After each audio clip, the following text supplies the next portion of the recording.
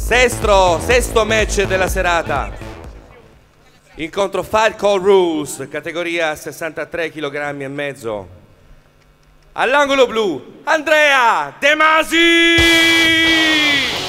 Oh,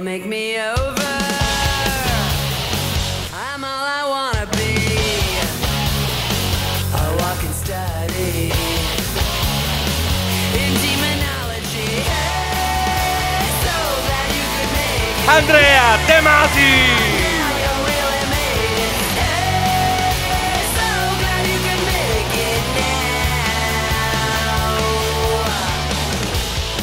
E dall'angolo rosso presentiamo Christian Del Mastro!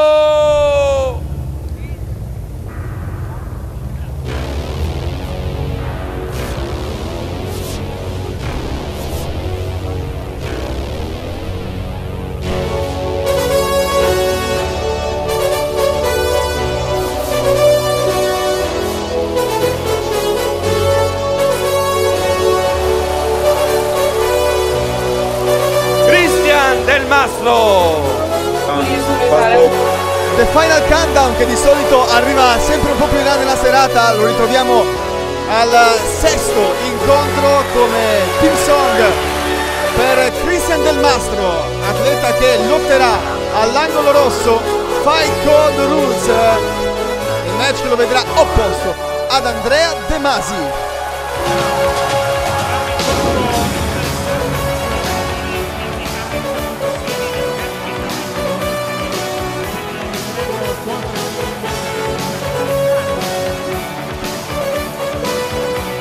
Decisive saranno probabilmente le prime fasi di questo confronto, potreste dire voi, come spesso accade, però in realtà quando ci sono due atleti che si assomigliano molto fisicamente, uno giocoforza deve comunque prendere il sopravvento, deve comunque prendere le redini dell'incontro, anche subendo magari qualche colpo in più, quindi bisognerà anche capire chi sarà il leader di questo, di questo stesso confronto del quadrato.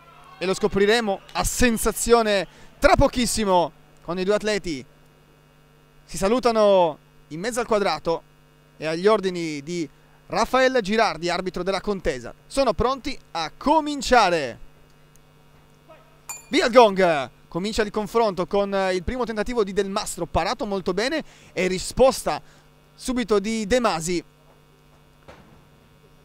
Entrambi si studiano ancora, però è molto veloce la risposta da parte di De Masi che rimane in piedi e rimane molto eretto nonostante la parata e la risposta tempestiva. I due poi si abbracciano alle corde, però partenza subito serratissima dell'incontro. Un incontro che ha dimenticato un po' la fase di studio perché i due combattenti sono partiti molto forti. Ora, gran bella spazzata di Del Mastro che trova il primo atterramento dell'incontro. Spazzata che chiaramente non comporta un conteggio da parte dell'arbitro. Ricordiamo anche che possono essere tre sufficienti a ripresa per eh, convincere, in realtà da regolamento permettere all'arbitro di chiamare il knockout, quattro nel corso di un match intero. Adesso si incrociano i calci dei due lottatori, nessuno però va veramente a segno. Qui cerca di spostare la guardia De Masi ed entrare con il jab destro. Nulla di fatto però anche per quanto riguarda questo tentativo di clinch. Vediamo che il clinch è molto diverso dalla, dalla presa dell'orso, quella che poi cinghia tutto il busto e di fatto crea un impedimento all'avversario che la subisce. Sì, sarà, sarà interessante ora vedere quanto usufruiranno del clinch i due lottatori che sono partiti molto forte e quindi eh, avranno poi forse un calo, forse li sto sottostimando dal punto di vista aerobico, però potrebbero avere un calo e quindi giocare l'incontro anche da quel punto di vista. Del Mastro che sta cercando di entrare anche spesso con il frontale, di difesa sì, però sempre spesso e anche volentieri alla base dell'addominale, come in questo caso. Stavolta lo alza un po' il target, cercando di colpire in pieno petto l'avversario che si copre molto bene, anche se adesso De Masi subisce una serie di ginocchiate che chiudono il primo round. Molto attivo questo incontro, zero fase di studio molto divertimento. Attenzione urgente, l'atleta Rovelli subito Paolo, Rovelli testa Paolo nello spogliatoio, grazie. A fare, a fare il loro gioco, a cercare quantomeno di fare il loro gioco per provare a mettersi in posizione. Peccato che la risposta dall'altra parte in alcuni casi stata altrettanta aggressività. Questo ovviamente trovato allo spettacolo. E ora vediamo quali saranno anche soprattutto i consigli agli angoli rispettivi per cercare di dare come dire una svolta a questo incontro. Forse la cosa migliore è dare un colpo di spugna a questo nel primo round e provare a ricostruire un altro tipo di match al secondo Andrea De Masi che lotta a proposito per la Combat Sport di Moncalieri, Cristian Del Mastro invece potremmo quasi identificarlo mentre comincia il secondo round come atleta di casa se vogliamo perché è seguito da coach Barbuto a sua volta, quindi Thai Box Torino per Del Mastro che riesce in allungamento, in, in, eh, indietreggiando, mi è arrivata a evitare una serie di colpi da box da parte di De Masi e poi ancora il frontale parato, però come vi dicevamo in maniera non regolare perché la presa statica del piede non è consentita se non seguita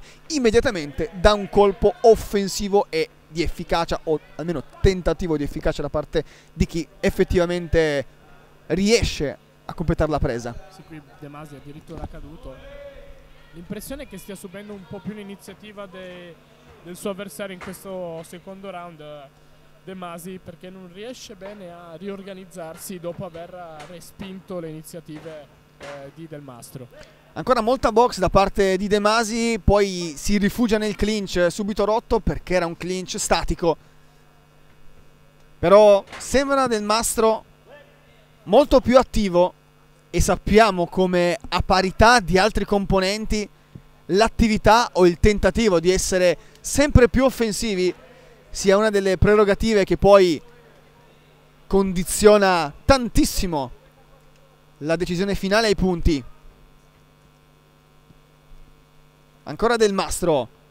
Un altro frontale. È sempre molto distante De Masi che deve subire anche il eh, jab sinistro. Sì, sta, abbiamo parlato di fisici molto simili, forse sta approfittando di qualche centimetro di vantaggio, soprattutto dal punto di vista della portata, Cristian Del Mastro che con questo schema, utilizzando spesso la variazione alto-basso, riesce a tenere a distanza De Masi e a stroncare sul nascere le sue iniziative. Leve più lunghe e colpi anche se vogliamo più eleganti da parte di Del Mastro che chiude in attacco il secondo round. Ce ne sarà un altro per questa categoria che tocca i 63 kg e mezzo, non di più, chiaramente.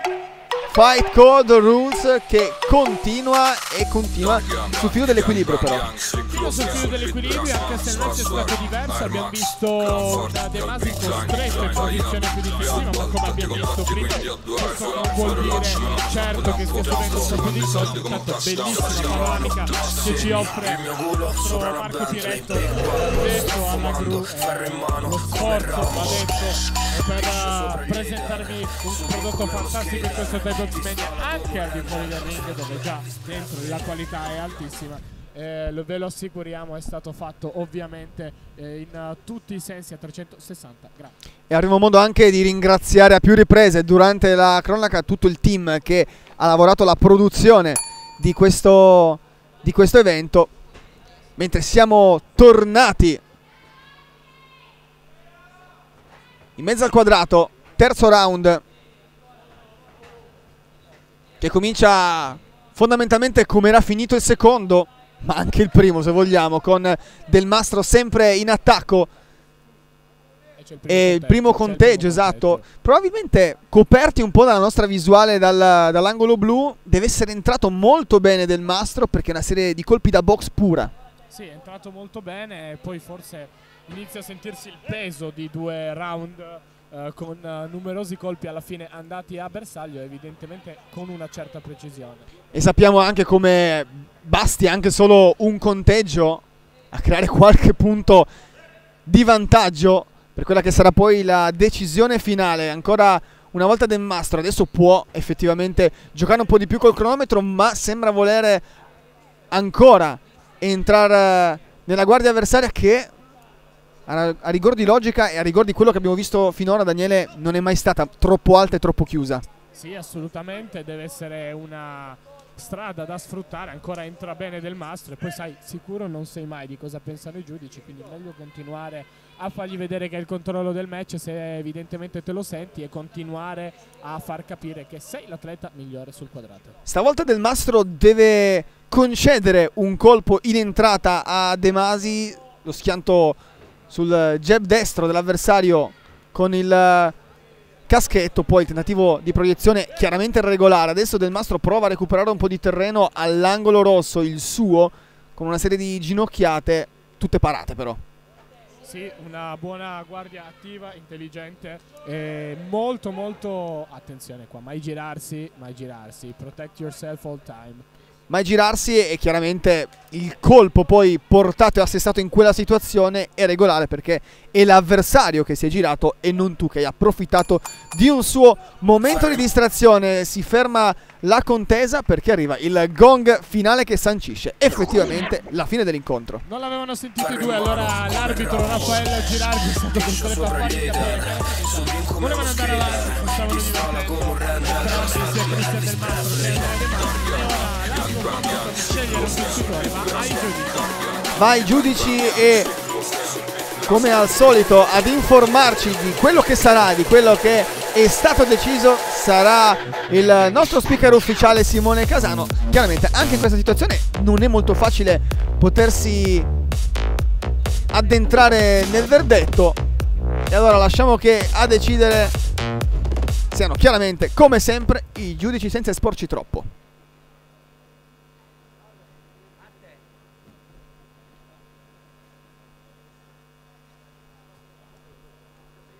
po' di suspense.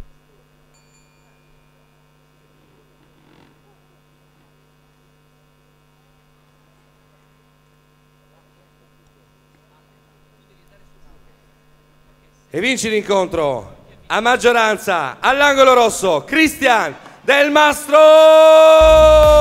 A maggioranza quindi non è stata una scelta neanche troppo semplice e un po' l'avevamo intuito anche dal tempo di arrivo del verdetto. Esatto, majority decision o se preferite split di decision, insomma, decisione non unanime a dimostrazione che l'incontro, come ci aspettavamo e come abbiamo visto, è stato molto equilibrato. Complimenti a entrambi.